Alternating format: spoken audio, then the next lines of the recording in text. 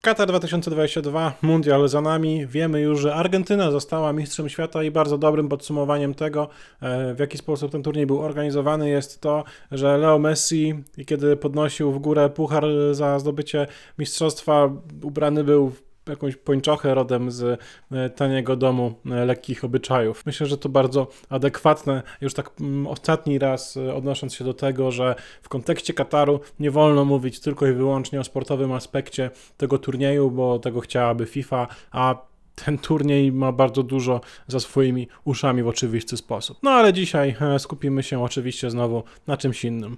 Cześć, ja się nazywam Tomasz, ten kanał nazywa się tak. No i po rzutach karnych znowu Argentyna pokonuje swojego rywala i tym razem e, był to już rywal ostatni Odbiera mistrzostwo Argentyna i Leo Messi e, Francuzom. Po raz trzeci zdobywa tytuł. Po raz pierwszy od 2002 roku ekipa spoza Europy jest mistrzem świata i myślę, że to akurat jest naprawdę bardzo, bardzo dobrze. Mm, e, miałem już takie powoli wrażenie, że Europa bardzo mocno ucieka reszcie świata. No i taka odmiana w postaci Argentyny zdobywającej tytuł to jest fajna rzecz. W tym kontekście spoko. Myślę, że fajnie też, że trochę dynamika dyskusji o Messi mi się zmieni no bo Leo e, jest mistrzem świata. Dorównał w tym kontekście e, Maradonie. Myślę też, że dorównał w taki sposób, że no tym razem ta nagroda dla e, piłkarza turnieju jest dla niego dużo bardziej zasłużona niż ta, którą dostał w 2014 roku. Tutaj raczej e, nikt większych wątpliwości nie ma. Nawet jeżeli ktoś może próbować deprecjonować jego występ tym, że tak dużą część swoich bramek zdobył z rzutów karnych. No co z tego? E, nie tylko bramki e, strzelał, robił też dużo innych naprawdę znakomitych rzeczy. Karne zresztą też trzeba umieć strzelać, to sam Messi doskonale wie, bo nie zawsze mu to wychodziło nie wiadomo jak dobrze. Nawet na tym turnieju zresztą jednego karnego mm, zmarnował. Ha, mamy polski akcent. A to nie jest jedyny polski akcent, no wiadomo, jednym słowem, Szymon Marciniak i w ogóle cała ekipa, bardzo dobre sędziowanie, mm, sympatycznie było widzieć, że e, chociaż raz e, sędziowanie na tym, mecz, na tym turnieju e, wyglądało tak, jak wyglądać powinno. Dziwny to był mecz, bo Francja przyjęła trochę, mm, e, nie wiem czy taktykę, bo chyba to nie była taktyka, tylko raczej bezradność, ale wyglądała trochę jak Paweł Czapiewski, taki lekkoatleta, e, polski 400-metrowiec, 400 czy 800 metrów biegał. E, on cały całą, cały wyścig e, trzymał się z tyłu stawki, dopiero na sam koniec e, odpalał sprint i wszystkich wyprzedzał. E, w Europie może nie wszystkich, ale też nadganiał bardzo dużo. No i przez całe spotkanie e, w tym regulaminowym e, czasie, no nie wiem, tak generalnie do, do, momentu zdobycia bramki Francuzi wyglądali obrzydliwie, wyglądali bardzo źle i to nie tylko tak e, w czysto estetycznych kategoriach, jeżeli o tym rozmawiamy, ale również po prostu słabo.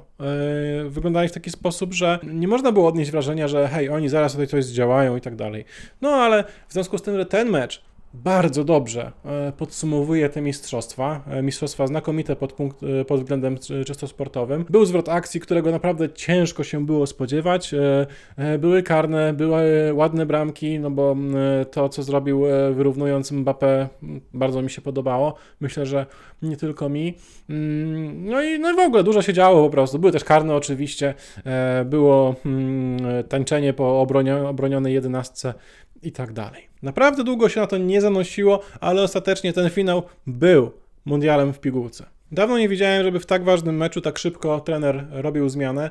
Mm, no i cóż, e, Dembele, w zasadzie był Dambele e, w tym e, spotkaniu. Ten rzut karny, który oddał, naprawdę niesamowicie to było głupie. Zresztą nawet zanim ta jedenastka została podyktowana, to piłkarz Barcelony wyglądał po prostu fatalnie. Jeżeli dało się podjąć jakąś złą decyzję, no to on ją podejmował. To tak jakbyście wiecie, zapytali się, czy wolisz torby papierowe, czy foliowe na swoje zakupy, no to twoja odpowiedź brzmi, cokolwiek zabije najwięcej żółwi. No to równie złych wyborów za każdym razem e, dzisiaj e, dokonywał e, Usman Dembele. No i tak w ogóle, no to z tych piłkarzy, którzy rozpoczynali to spotkanie, no to pomijając Kyliana Mbappé, który miał zrywy, ale od tego jest tak naprawdę. Ja myślę, że Kylian jest ostatnim piłkarzem, jednym z ostatnich przynajmniej, którego należałoby z punktu widzenia Francuzów winić za to, że mistrzami świata zostali Argentyńczycy. No to poza tym no to naprawdę chwalić to chyba można tylko Ugo Lorisa. E, Okej, okay. e, Thuram e, e, czy pan Kolo, e, którzy weszli z ławki również e, dali dosyć, dosyć sporo Francuzom. Kamavinga też bardzo, bardzo dobrą zmianę zaliczył, dużo napędził w drugiej linii. Komana też myślę, że nie ma co jakoś tam się nad nim znęcać, bo też dał niezłą zmianę, ale ogólnie Francuzi grali wyjątkowo licho i trudno mi uwierzyć w to, żeby taki był plan od początku. Na pewno nie do tego stopnia się cofnąć, bo oni lubili oddawać inicjatywę. Przez 80 minut e, wydawało się, że Argentyna no, dużo bardziej chce po prostu i wydaje się to absurdalne w kontekście tego, że mówimy o, kurde, no, finale Mistrzostw Świata. Tutaj każdemu powinno e, zależeć e, tak bardzo, jak tylko się da.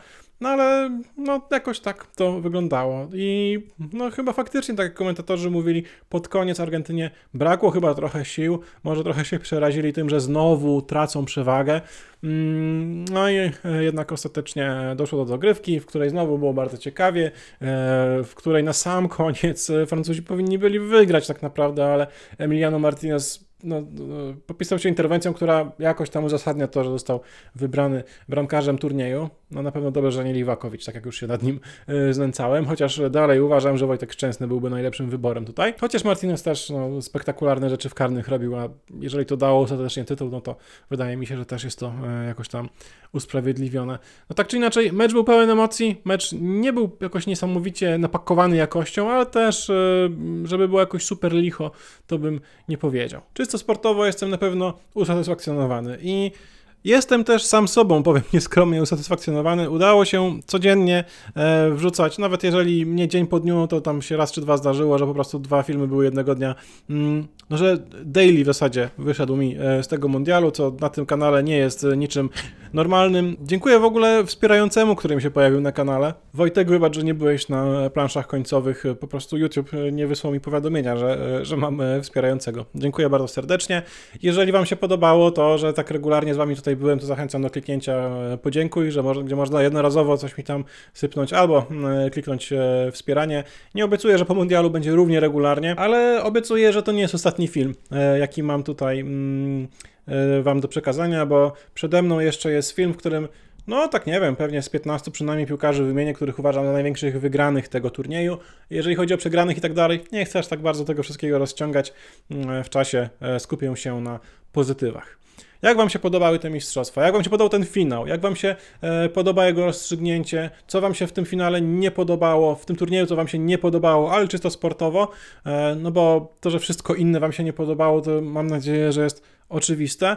Zachęcam do pisania w komentarzach. Dziękuję Wam bardzo e, za może niezbyt liczną, ale całkiem zaangażowaną obecność. Bardzo to jest miłe. E, I dziękuję też w imieniu całej mojej rodziny e, i większości moich znajomych, że mogłem się tutaj przed Wami wygadać i że reszty osób, z którymi na co dzień przebywam, która nie za bardzo się piłką interesuje, no że nie musieli być zamęczani przeze mnie tym tematem, bo mogłem się wygadać po prostu tutaj. A tak naprawdę zawsze w tym kanale o to chodziło, żeby mógł się z piłki tutaj wygadać. Dziękuję Wam za to bardzo serdecznie. Dzięki za uwagę. Cześć.